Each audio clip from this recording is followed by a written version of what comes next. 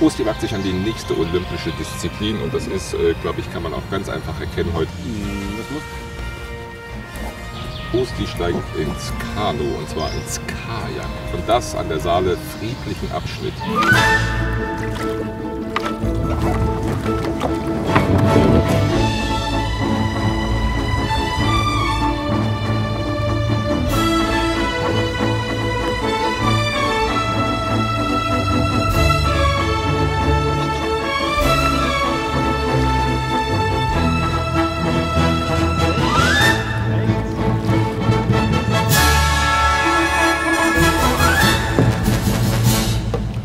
Das mit dem geradeausfahren, ich weiß nicht, ob ich das heute lerne, aber es geht ja auch um Slalom.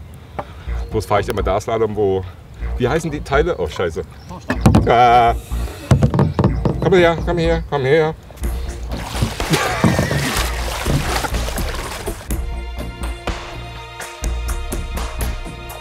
Ich war gut.